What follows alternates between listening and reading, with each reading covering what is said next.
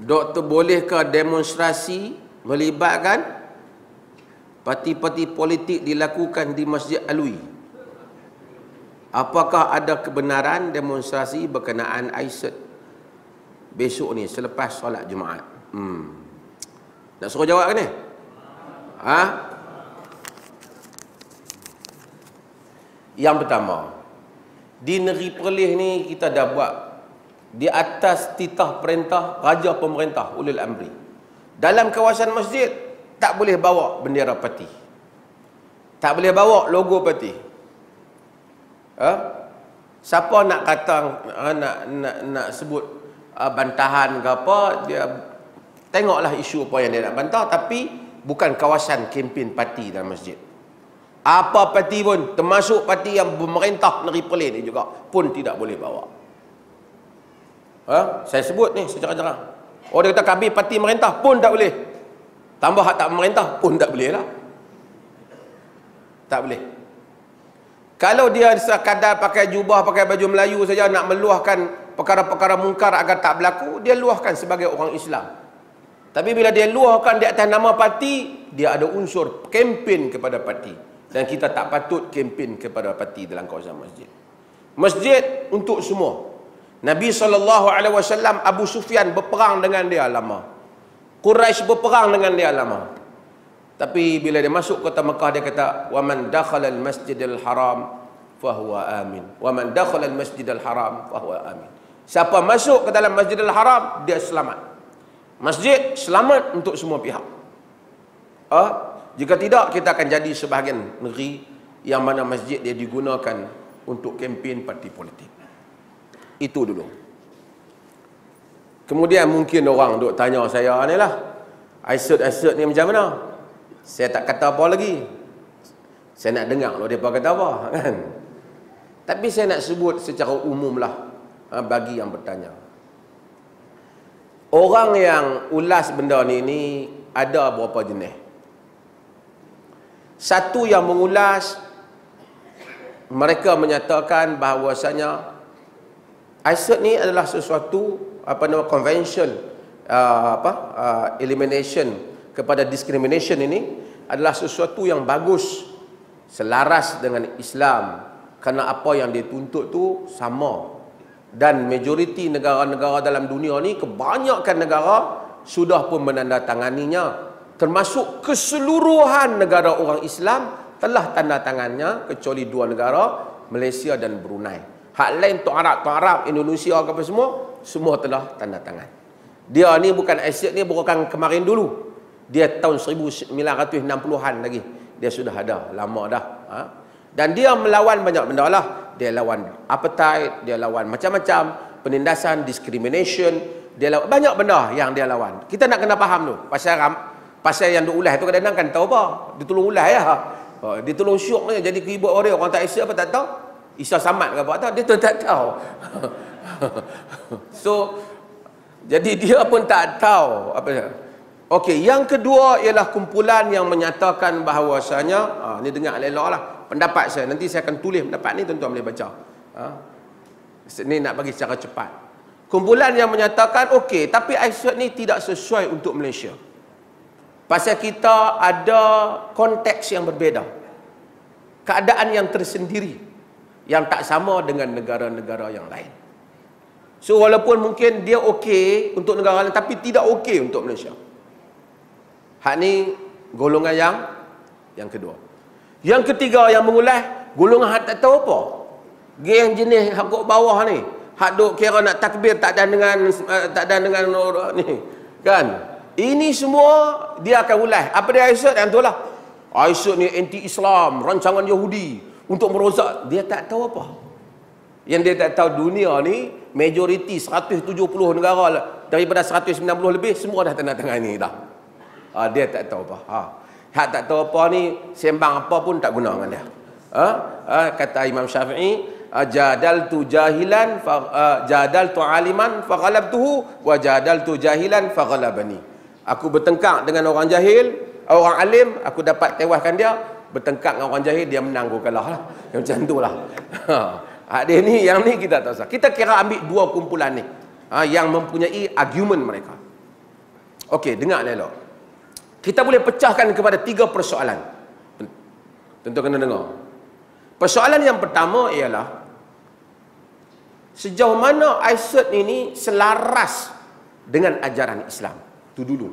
Dia punya semangat dia. Detail dia tu tak apa. Dia punya tujuan dia tu. Dia punya tujuan dia dalam dunia ni kita tak boleh discriminate, tak boleh ada diskriminasi kepada mana kerana orang tu bangsa lain kita nak tindas dia. Kerana dia kulit lain tak boleh tindas. Dia ni lah yang menentang apa yang dibuat oleh apartheid Dulu Afrika Selatan, ingat tak? Kulit putih tindas kulit hitam. Ha, Nazi, Nazi sebelum uh, sebelum tu lagi lah. Ha, Nazi apabila dia panjang bangsa Aryan lebih tinggi daripada Yahudi dan semua bentuk penindasan apa saja. Kerana kau bangsa ni kau dah, tak dapat pendidikan ni. Kau bangsa ni kau tak dapat manusia ini sama. So dia nak eliminate, pinggirkan semua bentuk menindas orang kerana latar kaum latar kepercayaan, latar agama dan dia menentang apa-apa saja ucapan yang menghasut manusia bergaduh kerana kaum dan menganggap itu sebagai jenayah. Itu dia punya idea. Sebahagian tu bukan tahu apa tu. Ha? Itu dia punya idea. Okey. Idea dia ni sesuai tak dengan Islam? Ha, sesuai tak dengan Islam? Okey, persoalan yang pertama kita kena tanya. Dia selaras tak dengan Islam? Persoalan yang kedua kita tanya. Dia ses apakah realiti sebenarnya di dunia ni? Aisyah ni lah lama dah ada ada dunia ni macam mana berjalan? Yang ketiga, perkara yang mesti kita tanya, apakah sebenarnya realiti di Malaysia kita? Okey, saya nak ringkaskan tuan-tuan kena faham. Ha, supaya jangan dengar separuh. Ha, sekejap pergi ambil ilmu tak habis dari segi semangat Aisyah itu sendiri untuk mengelakkan diskriminasi kerana latar belakang perbezaan uh, uh, racial discrimination nak mengelakkan perbezaan disebabkan kerana latar kaum ni penin, uh, diskriminasi ini ini adalah sesuatu yang tak bertentangan dengan Islam bahkan sesuatu yang betul. Dari sudut itu semangat tu tak apa. Kerana Allah kata Ya ayuhan nas, inna khalaqnakum min dhakarin wa untha wa ja'alnakum syu'uban wa qabaila lita'arafu inna akramakum 'indallahi atqakum. Wahai manusia kami jadikan kamu lelaki dan perempuan, kami ciptakan kamu daripada berkaum-kaum dan berkabilah-kabilah supaya kamu kenal mengenali yang mulia di sisi kamu di kalangan kamu di sisi Allah yang paling bertakwa. Nabi kata la fadla li'arabiyyin ala ajamiyyin wala ajamiyyin ala arabiyyin wala ahmarin ala aswadin wala aswadin ala ahmar Nabi kata tidak ada kelebihan orang orang Arab di atas orang bukan Arab yang bukan Arab atas orang Arab yang merah di atas hitam yang hitam di atas yang merah. Ha? yang beza ialah illa bi bi taqwa. Melainkan taqwa kullukum min badi min adam. Semua kamu daripada adam kata nabi.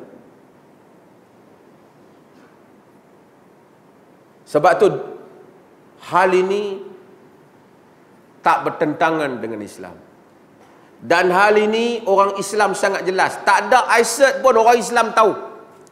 Orang Islam sebenarnya tidak memerlukan Aisyah untuk faham hal ini sebab itu masyarakat Islam tak buat penindasan yang begitu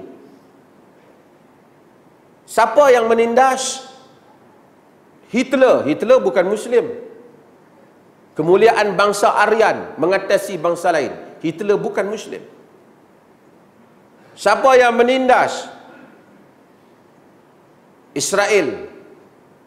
Sekali kita akan sebut. Ah, negara-negara. Semua dalam sejarah yang buat ni, Islam tak ajar benda ni. Sebab tu orang Islam realitinya bukan Islam boleh pun orang Cina bukan Melayu boleh hidup di dalam kampung Melayu berniaga kaya pun orang Melayu panggil dia toke lagi tak dipandang hina kerana masalah perkauman golongan yang paling patut takut benda ni ialah golongan yang mana agama mereka mengajar ajaran kasta Siapa yang kata ada macam tu, dia perasalah. Jangan tuduh saya kata mana-mana. Yang mengajar manusia berbeza kasta bawah, kasta atas. Kasta bawah tak boleh. Bercakap pun tak boleh kasta atas. Makan sekali, patah lagi. Ajaran dan seperti ini memang sangat memerlukan Aisyah ni. Muslim, kalau Aisyah tak ajak dia pun, dia tahu. 1400 tahun yang lepas, sebelum bangsa-bangsa bersatu membuat convention ini, Muslim telah mengistiharkan la fadla li arabiyyin ala ajamiyyin wala ajamiyyin ala arabi wala ahmarin ala aswadin wala aswadin ala ahmar. Tak ada kelebihan. Arab di atas bukan Arab padahal Nabi Arab. Nabi tak kata ni bangsa Arab bangsa aku. Orang kemudian yang main kemudian Arab tinggi sikit. Bang, Nabi kata tak ada. Kita Arab masuk kampung pun oh Arab Arab Arab Ha, yang lebih ialah takwa. Tidak yang bukan Arab atau Arab, tidak yang hitam dan putih, tidak, uh, tidak yang hitam tak uh, uh, yang merah atau hitam, tidak yang hitam atau merah. Tak ada. Islam very clear. Nabi yang sebut sebelum Martin Luther King, Dr. Martin Luther King Junior, sebelum Dr. Martin Luther King sebut dalam pidatonya di Amerika, uh, my dream, I have my dream. Sebelum dia sebut itu lagi, orang Islam, Nabi Islam telah sebut hal ini. I have a dream that one day, dia kata satu hari nanti, uh, apa nama, orang kulit hitam akan boleh duduk dengan orang kulit putih. Orang uh, apa, uh, the former son of slave boleh duduk dengan tuan dia. Ini dream dia, Islam sudah ada. Kalau prinsipnya sama, boleh tak orang Islam pergi buat satu perjanjian yang orang bukan Islam jadi kepala dalam tu. Tapi perjuangan dia untuk hak dan keadilan. Anti diskriminasi. Secara umumnya boleh. Kalau kita kata haram, negara Arab semua masuk anu. Kita tak kata haram, kita kata boleh dulu. Boleh masuk. Sebab Nabi saw dalam riwayat Al-Imam Al-Baihaqi dan bagai-bagai riwayat yang disahihkan oleh banyak ulama termasuk Ibn Mulaqin menyebut bahawa Nabi menyatakan laqad syahidtu hilfan fi dari Abdullah bin Juda'an law du'itu bihi fil Islam la ajabt. Aku telah menyaksikan satu perjanjian semasa Nabi belum lagi menjadi rasul. Di zaman Nabi tak terima wahyu lagi Nabi tengok satu perjanjian di rumah Abdullah bin Juda'an.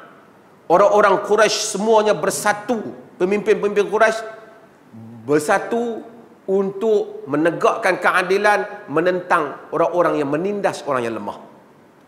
Pasal ada orang lemah ni bila tuntut hutang tak ada dia kena tindas, Quraisy ha, setuju kita buat perjanjian kita bela orang yang lemah. Nabi kata, kalau aku dah jadi rasul ni, diseru kepada perjanjian yang Quraisy kepala tu, aku pergi. Sebab apa? Prinsipnya sama. Walaupun mereka jahiliah. Faham tak? Okey, itu dulu. Kita agree, kita kena agree dari segi semangat dia, dari segi maksud dia taklah lari daripada ajaran Islam.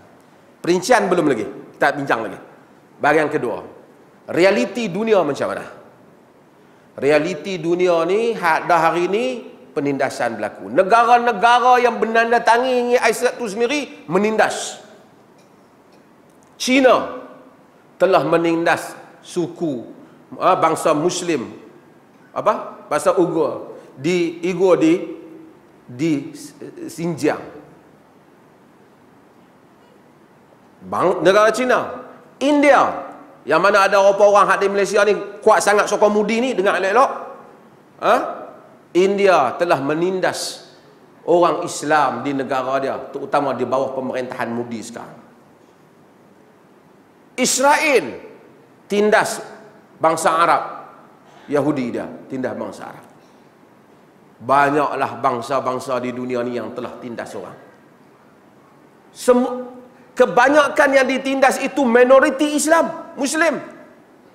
Dan dunia tak bangkit sangat untuk mempertahankan mereka. Bahkan kadang-kadang bila mereka membela hak mereka tak bunyi pun aset yang bunyi menentang pengganas rakyat yang ditindas itu pula yang menjadi pengganas. Dan itu adalah realiti yang berlaku pada dunia ini di samping isinya okey realitinya berlaku berbeza. Itu satu hal.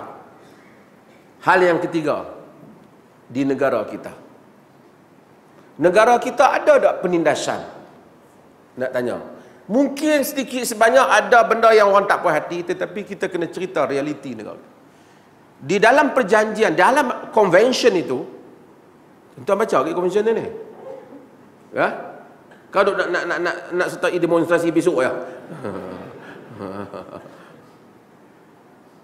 dalam convention tu dia sebut ada benda yang boleh berbeza.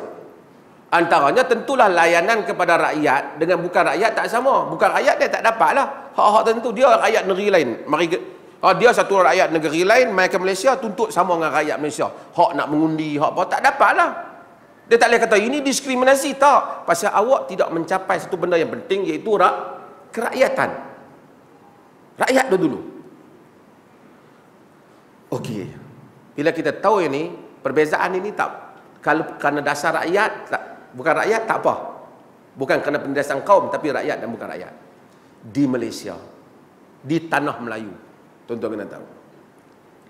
Pada tahun masa kemerdekaan 980 ribu orang-orang bukan warga negara sini yang terdiri daripada kaum-kaum yang lain secara terang China dan India telah diberikan kerakyatan percuma oleh tuan negara ini.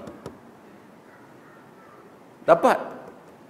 Tanpa perlu menumpahkan setitis darah pun.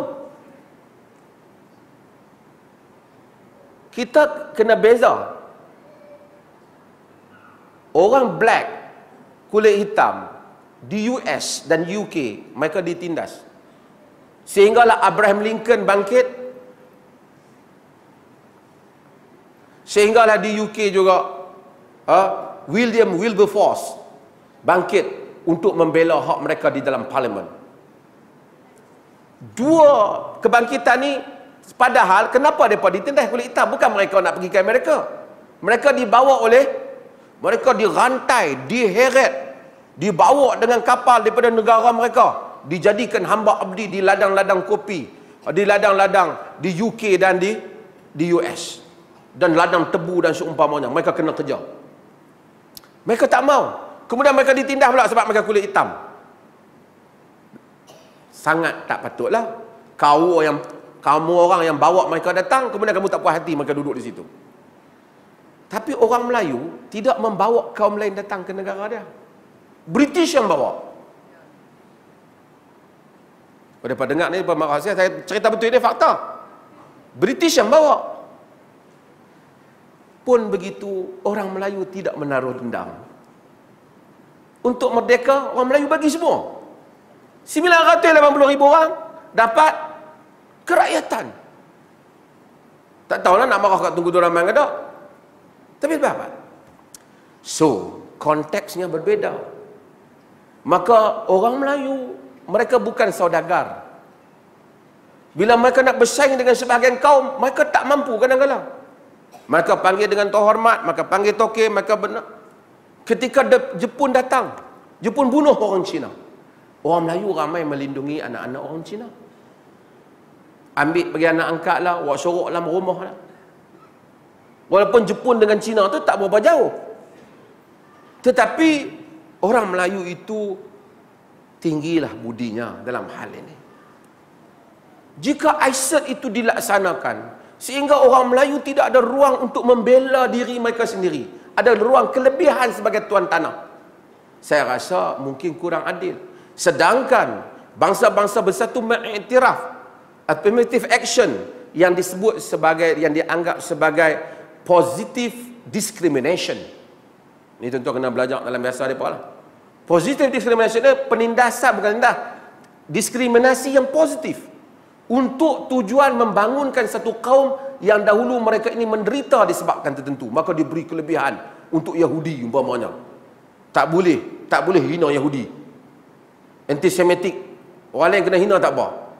Tak apa, kaum-kaum Mori di Australia dan New Zealand umpamanya. Kaum-kaum yang dianggap diberikan satu hak keistimewaan. Sebab mereka kaum asal. Tak apalah. Tapi orang Melayu kaum asal, walaupun majoriti, walaupun dah, tetapi mengenangkan jasa budi yang awal sebagai tuan rumah.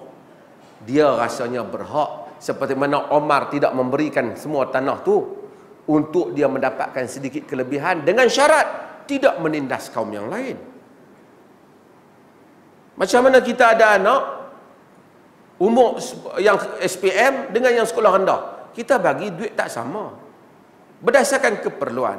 Anak yang sakit dan yang sihat. Perbelanjaan tak sama. Berdasarkan keperluan pada yang sakit. Maka dengan itu untuk memajukan satu kaum yang tidak begitu kuat. Untuk menghadapi pesaingnya. Maka ia adalah sesuatu yang rasional. Selagi mana tidak menindas orang yang lain. Maka saya berpendapat. Bukan nak kata seperti mereka kata Aisat itu rancangan Yahudi. Saya tak kata yang tu lah. Ha? Yang tu jenis tak baca punya. Ha? Memang Myanmar memang patut kenal lah. Tapi saya rasa dia tak sign kot Myanmar ni. Kan? Ha, banyak nerit. Orang Islam tak menindas. Dalam konteks Malaysia. Kalau nak dibuat. Mesti mempunyai acuan Malaysia. Mesti mengambil kira konteks Malaysia. Mesti mengambil kira latar kita supaya saya kita bimbang di dalam negara ini tak bergaduh kau melainkan peristiwa 13 Mei yang mempunyai latarnya yang tersendiri sebab-sebab yang tersendiri selain daripada itu sangat damai dibimbangi jika kita berikan pelaksanaan yang menyebabkan kaum asal itu rasa langsung dia tidak ada hak makan macam merempat dia di tanah sendiri maka keamanan itu hilang Nabi SAW menyebut al-a'immatu min Quraisy, pemimpin di kalangan Quraisy. Bukan ada diskriminasi dalam pelantikan. Kata Ibn Khaldun, sebabnya kerana Quraisy itu dominan, kepimpinan berada padanya. Dengan berada kepimpinan di tangan Quraisy, keadaan lebih stabil. Dengan beradanya beberapa kelebihan sedikit di tangan orang orang bumi putra, maka negara lebih stabil. Itu adalah istihad pemerintah. Jadi saya kalau tanya sama ada benda ni kalau nak dibuat secara detail, konsep, prinsip, asas, semangat kita terima. Pendetilan itu mesti merujuk kepada realiti yang berlaku dalam dalam negara kita. Ha? ha? Jangan kita ni saya ni kita tak mau jadi kita orang mengaji ni tak boleh jadi jenis orang semangat ni. Rancangan Yahudi, kafir, laknatullah. Kita, come on lah. Kita Jangan jadi ngok lah. Kita baca dulu. Uh, kita baca dulu. Kita faham konteks dulu. Kita kena tahu. Sagi orang bukan Islam kata, orang Islam dia heran. Orang nak kata jangan ada penindasan antara kaum pun dia tak setuju. Uh, kita jangan bagi mesej yang salah. Kita bagi tahu apa yang kita setuju. Apa yang kita tidak setuju. Uh, dan mungkin kalau nak buat pun mungkin kena ambil masa lagi. Sehingga stabil loh orang Melayu ni. Dan orang Melayu pun kena stabil diri dia lah. Tak boleh lah orang Melayu orang bagi kelebihan dia jual lesen, jual apa, lepas tu dia duk kata tak maju-maju. Ha, ni tengok dah berubah ni tak tahu geng-geng Alibaba ada banyak mana lagi. Ha, ada jual ni, hak jual-jual projek. Kalau depa ni tak ada pun macam tu juga Melayu, saya tak tahulah. Ha, orang lain pun mungkin tak dapat tahan lah. Ha, macam mana untuk uh, jika sekiranya sentiasa kita beri yang kelebihan pada satu kaum, mereka sendiri tak mau membangunkan diri mereka. Hmm. Wallahu a'lam.